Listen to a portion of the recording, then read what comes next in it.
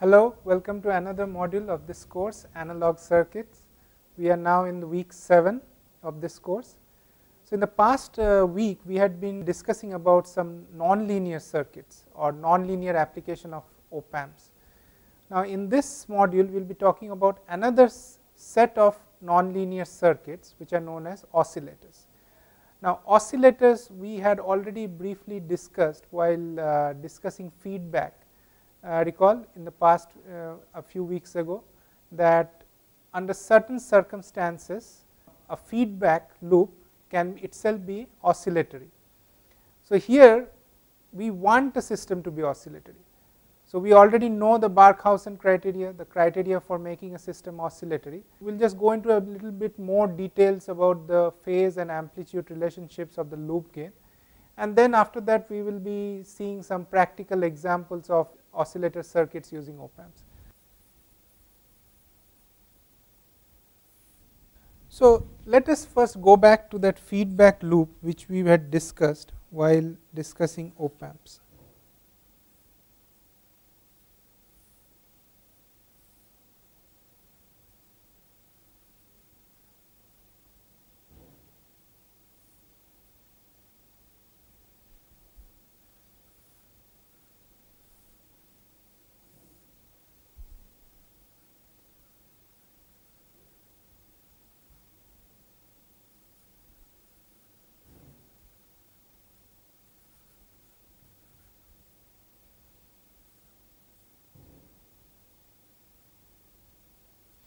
Now, note here I am choosing positive feedback as opposed to negative feedback.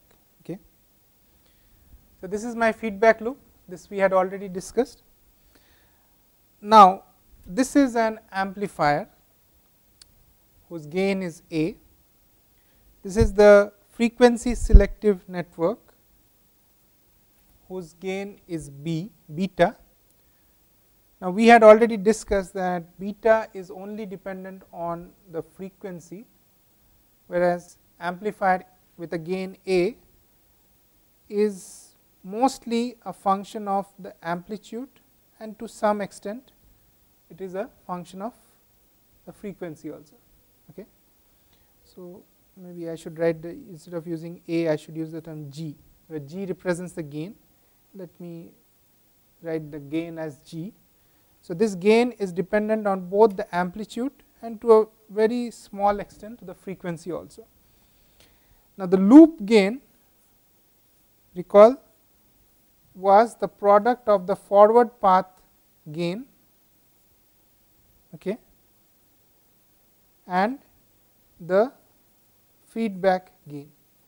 Now, here I am reverting to this A, here I had said that the gain is G, uh, but here I am reverting to A as the terminology for gain since that is more easier to understand while doing the derivations that we are going to do next. So, the characteristic equation for this uh, system is given by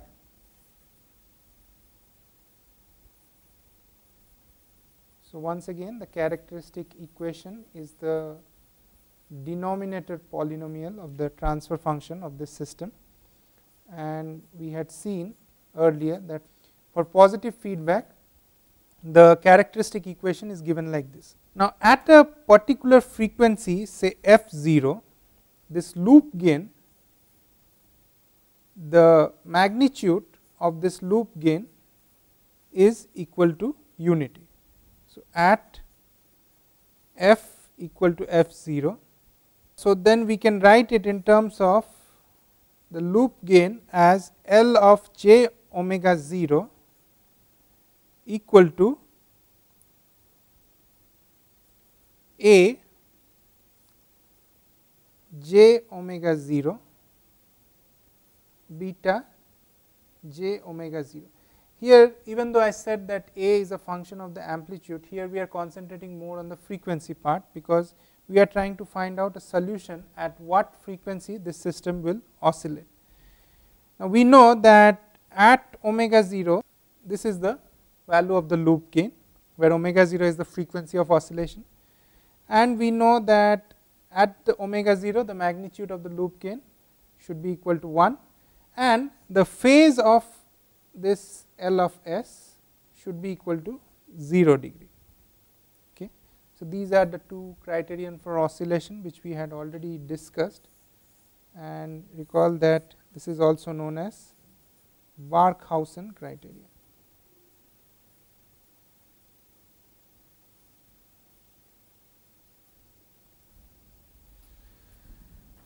Now, going back to my block diagram for a moment, what is my x of f?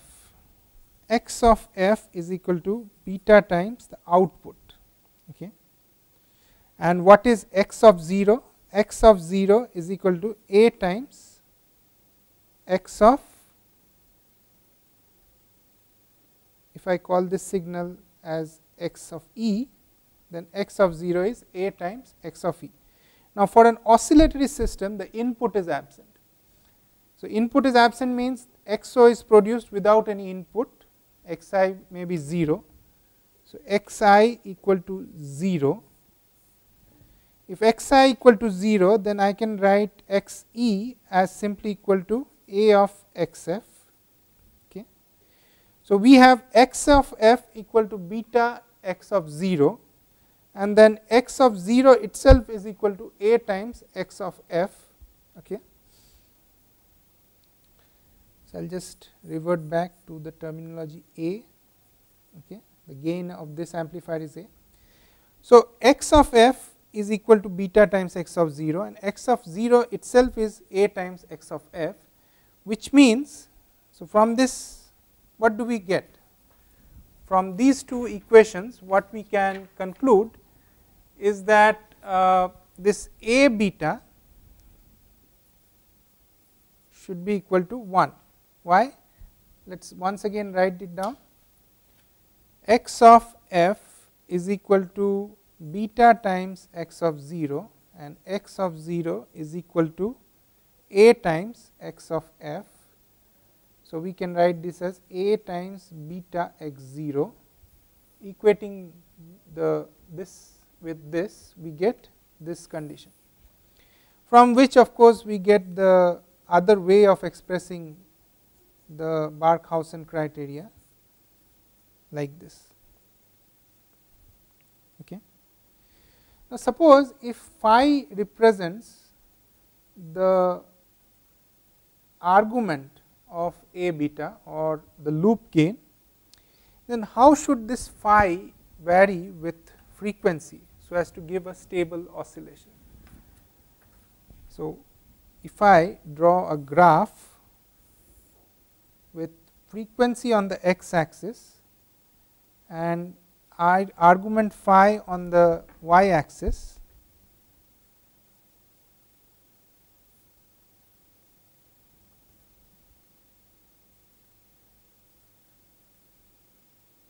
okay Now, so suppose this curve, let me make it a solid curve. This solid curve represents the variation of phi with omega 0. Now, if suppose I try to find out this d phi, the variation of the phase with omega, okay, and say there is a small perturbation to the oscillation because of which the new curve is like this. Okay. So, this is the curve without any disturbance or perturbation and suppose I disturb the circuit a bit as a result of which the new curve for phi versus omega becomes like this. I call this perturbed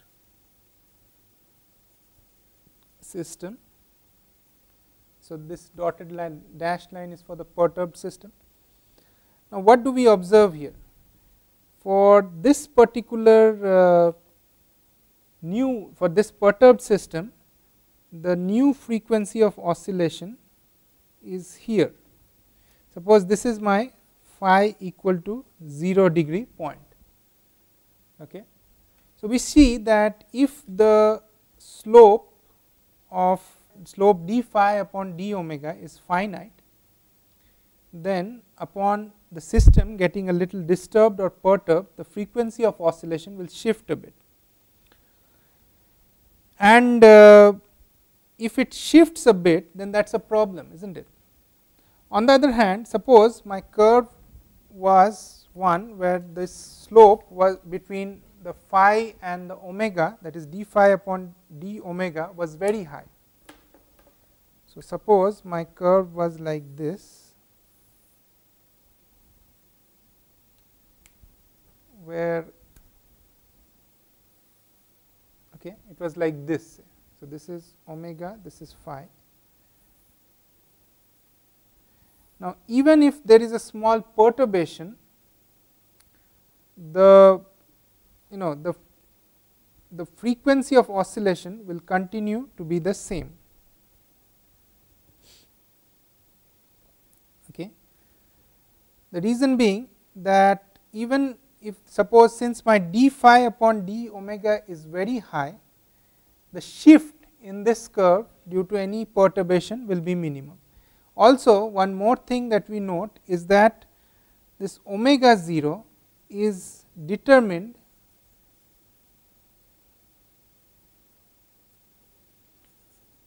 solely by the by the phase characteristics.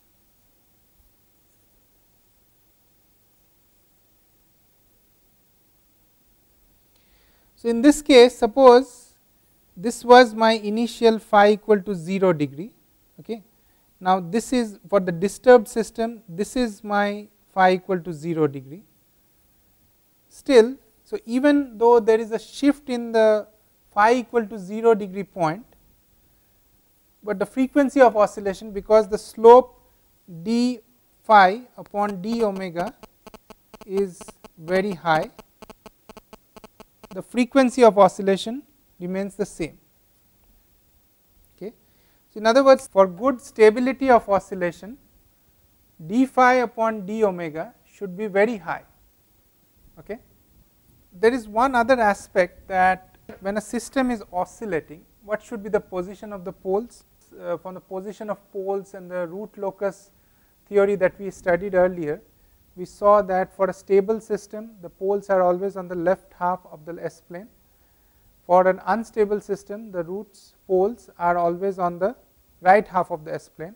And for an oscillatory system the poles will be on the j omega axis. Okay. So, then we can say that since Ls determines the characteristic equations of the system. So, this Ls itself should be of the form or the characteristic equation of the system of an oscillatory system should be of the form this one okay, at the frequency of oscillation. However, one thing that we have to note here is that even though at the point of oscillation or at the frequency of oscillation the poles of the oscillator are on the j omega axis, in order to start the oscillation where should the poles of the system be? You know as you can understand in order to start the oscillation means to make the system unstable at the beginning so, if you have to make a system unstable at the beginning at the initially the poles should be on the right half of the S plane. Once the system reaches the point of oscillation then the poles should shift to the imaginary axis. Okay. So, one way to do that to ensure that uh, an oscillation is started successfully or that initially the poles are indeed on the right half of the S plane you see that we have also studied while discussing the feedback that if the loop gain A beta has a magnitude greater than 1 then the amplitude of oscillation increases. On the other hand if the loop gain A beta has a magnitude lesser than 1 then the amplitude of oscillation keeps on decreasing. So, this loop gain is an is a useful way to control the amplitude of oscillation and thereby ensure that the oscillator is indeed at the point of oscillation. So, these are the rules of starting oscillation. At the beginning A beta that is when oscillation has not started A beta magnitude should be greater than 1. At the point of oscillation at the point of oscillation when there is stable oscillation A beta should be equal to 1. If amplitude keeps on let me use another sheet. So, these are the rules if amplitude keeps on increasing. So, let me at the beginning increasing then make a beta magnitude lesser than 1. Okay. So, this is the way to design an oscillator. At the beginning the magnitude of A beta the loop gain should be greater than 1. At the point of oscillation the magnitude of the loop gain A beta should be equal to 1 and if for some reason at the during stable oscillation the amplitude keeps on increasing then make the loop gain magnitude lesser than 1 that will ensure that the amplitude comes back to its stable operating point.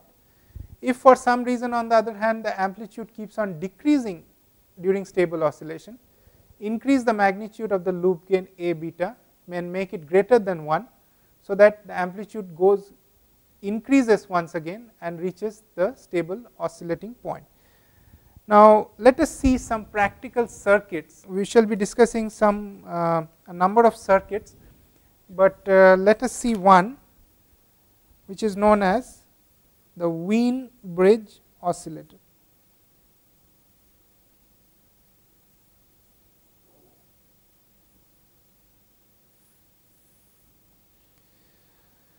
So, first let us see the circuit of this oscillator.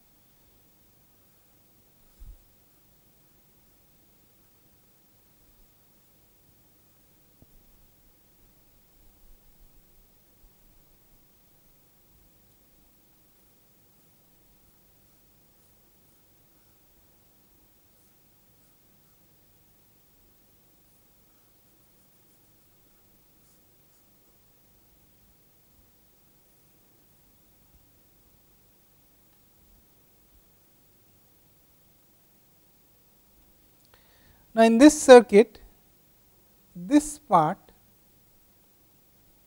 this non inverting op amp comprises the A of j omega part okay.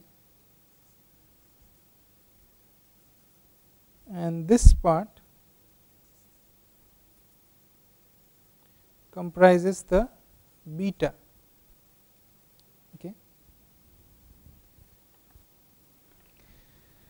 Now, let us consider suppose the voltage at this point is V A, then due to the virtual short effect the voltage at this point will also be V A.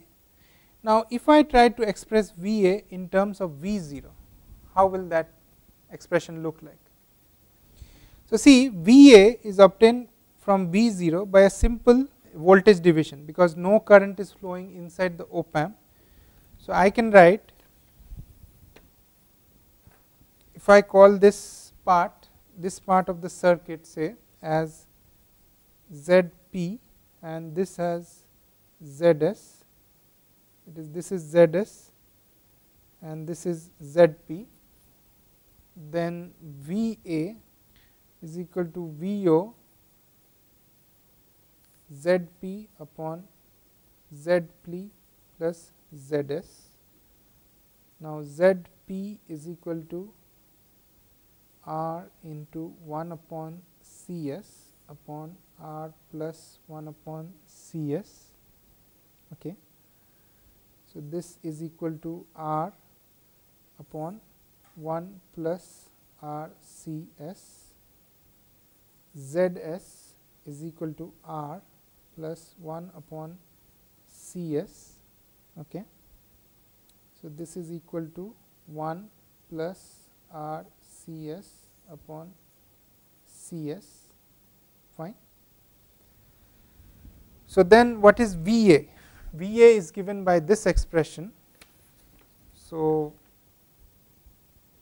I can write V A is equal to V 0 into R upon 1 plus R C S upon R upon 1 plus R C S plus 1 plus R C S upon C S. Okay.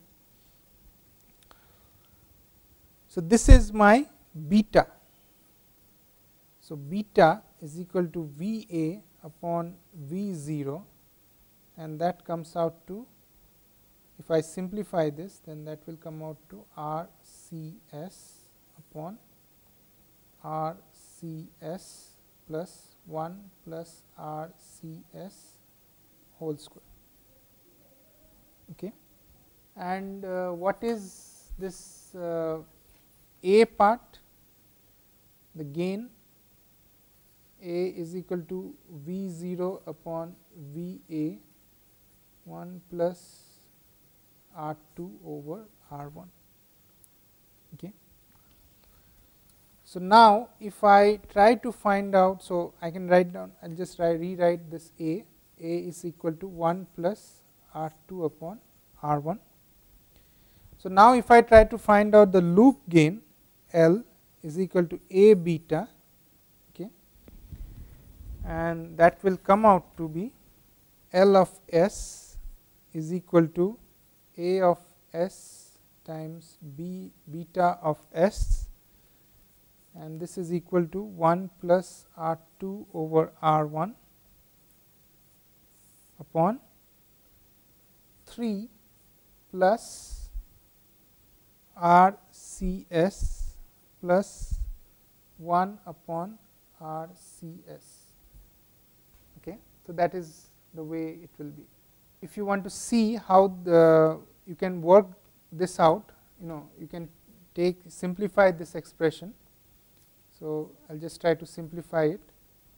So, this I if I simplify then this comes out to RCS upon 1 plus RCS whole square plus 3 RCS and from this I get 1 upon 1 upon RCS plus RCS plus 3 which is this expression this expression the denominator. So, now in order to ensure the condition of oscillation I have to have L of j omega equal to 0. So, now in order to make this equal to 0 okay first of all let me write down what is L of j omega so, let me move omega 0 this signifies that omega 0 is the frequency of oscillation. L of j omega comes out to be 1 plus R 2 upon R 1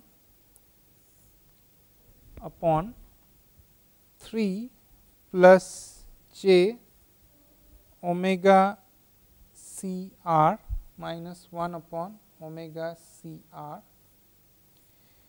now, see in order to make the phase of this expression equal to 0, this quantity within parenthesis should be equal to 0. Magnitude L argument of L of j omega 0 equal to 0, this implies that omega 0 C r minus 1 upon omega 0 C r should be equal to 0 and then from here we can get that the frequency of oscillation should be equal to 1 upon. Also we have to ensure the magnitude condition of the loop gain which is that at the frequency of oscillation the magnitude of loop gain should be equal to 1. So, we already have this quantity within brackets as 0. So, then this simply translates to 1 plus R 2 over R 1 upon 3 is equal to 1 from which we get R 2 upon R 1 is equal to 2. However, this is not enough in order to ensure that uh, you know this just says what are the conditions in the circuit at the stable for stable oscillation. However, to ensure that the amplitude does not exceed stable oscillation value, we have to provide some mechanism for amplitude control. And we have already studied in the previous modules about the mechanism for amplitude control, which was using the limiter circuits. So, for this circuit to successfully work as a oscillator, see here it is still not, it not work even if I have this circuit, it will still not work as an oscillator, because we have no amplitude control, it is still a linear circuit. An oscillator has to have some non-linearity for the amplitude control. So, that for that we will need some non-linear control amplitude control circuits and we will be using the same circuits limiter circuits that we discussed in the previous modules. So, that is something we will cover in the next module. Thank you.